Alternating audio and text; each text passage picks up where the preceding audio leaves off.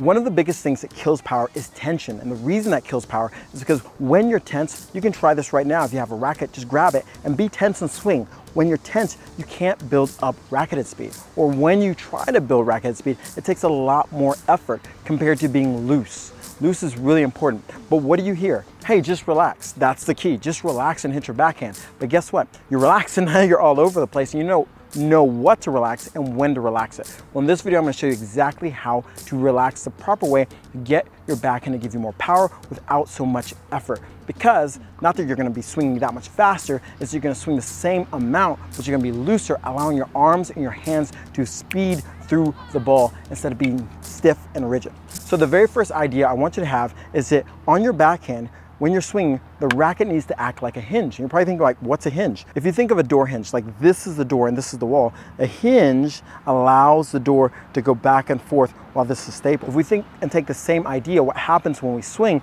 instead of having our arms and racket swing at the same time at the same rate, what really happens because of the weight of the head of the racket and we actually relaxing your hands, I'm gonna show you how to do it, what happens is you slightly leave the racket head behind. So as you swing, instead of them both going at the same time, if you're relaxing your hands, you start swinging, you see this kind of delayed effect where the racket head is lagging as the hands move forward. And this is crucial and the key.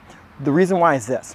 When we swing, whether it be a forehand or a backhand, you want to get your hand or your dominant hand into this locked in position. And what I mean by that is my left hand gets into an extended position. This is a much stronger position than this. When my hands are straight like this, I have to lock them down, causing tension and also causes the impact to go through my wrist.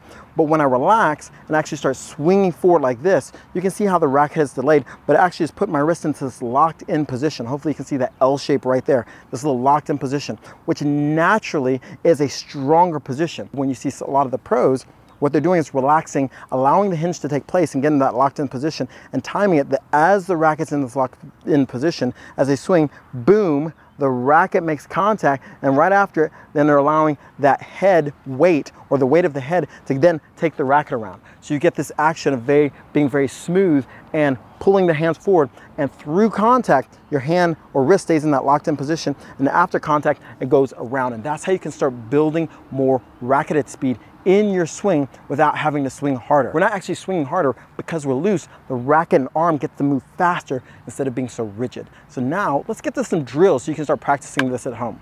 The very first drill we're gonna do is actually learning how to do it the wrong way so we can feel how it feels to do it the right way.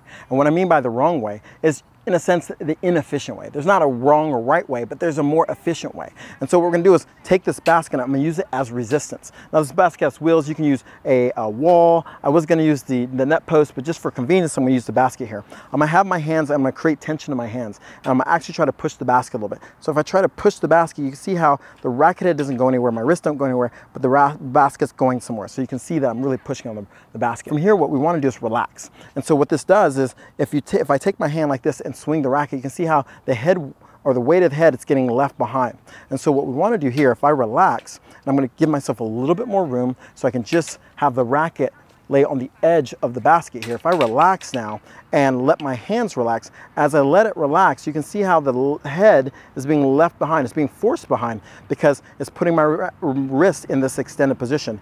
Here, boom, and then you can see how it comes up later. So what's happening is because I relax, this will start hinging back and then send the racket forward. Now what we want to do when we're doing this is not that we want the racket to hinge back and then fly into the uh, ball. What we want to do is have it hinge back in this moment and where we're making contact and then right after you'll see my racket start going forward. Will you see sometime a little hinging forward? Yes, but it's not the, the end all be all because if you would see that you would see the pros stop and try to hinge, just slap into the ball compared to what you're seeing is they're going back and they're timing it where this is as the wrist is in this extended position, they make contact and then the racket goes forward. Start practicing this. So all I'm gonna do is start loosening up. So now I'm leaving the racket head behind. By the way, if you wanna know how to do this on your forehand, make sure you go check out the video right here.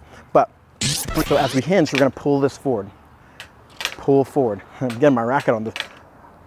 And so once I start doing here, what I'm gonna start doing is actually start closing the racket a little bit. You see this in different degrees of it. You see players like Nadal almost closing the racket completely. You see players like Djokovic closing it. They're all closing it for the matter of when they start pulling the racket forward, they don't want the racket to come open.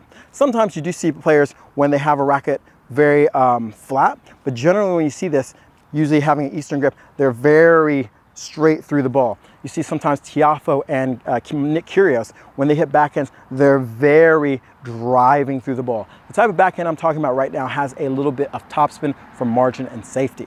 And so now as I close the racket, I'm gonna pull my hands up.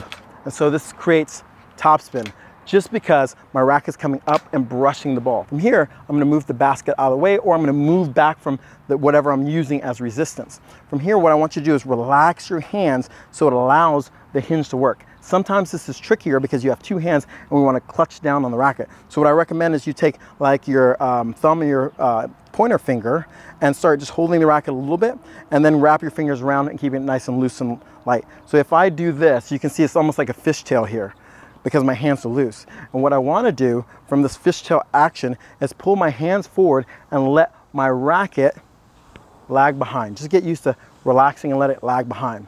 Now the trick is we want to let the ball come into our strike zone more to make sure that we have an opportunity to make contact here and push through it. And this is now, once you start practicing this, where you feel comfortable letting the racket come uh, lag behind and come through, we can start doing drop fed balls. Now, here's a extra drill you might want to try is to actually do this just left-handed. So I'm gonna move this out of the way and get my left hand where I'm gonna do that same action. So you can see how if I pull here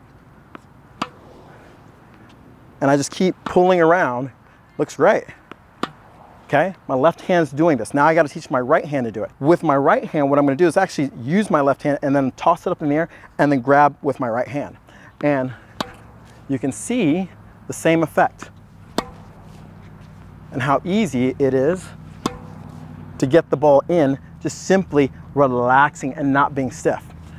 And so I'll do a couple more and you wanna do a ton of these because what happens when we get nervous, uh, there's a little tension, maybe the ball's hit really deep, we go and then we lose that sense of feel. When you do this right, you'll notice naturally if you're using your body to rotate into the ball and not just your arms, when you rotate to the ball, and you're loose, you get a lot of power. That one, I need to close down the racket face and come up. There you go. And so you can really see how, boom, the racket is allowed to work. And that's so important. From here, I would just use the ball machine and practice the timing of letting the ball come back into my strike zones and making sure that I have some room for lag. Now, one more quick tip. If you want to have that loose sensation, make sure even when I'm taking your racket back here, you can see there's room for my racket to get into this position. So make sure if you wanna know how to do this on the forehand, go watch this video right here because it explains the exact same drills you can do on your forehand side to create this sensation. Let me know in the comments if you've done this before or if you understand this concept and you used it on your two-handed backhand.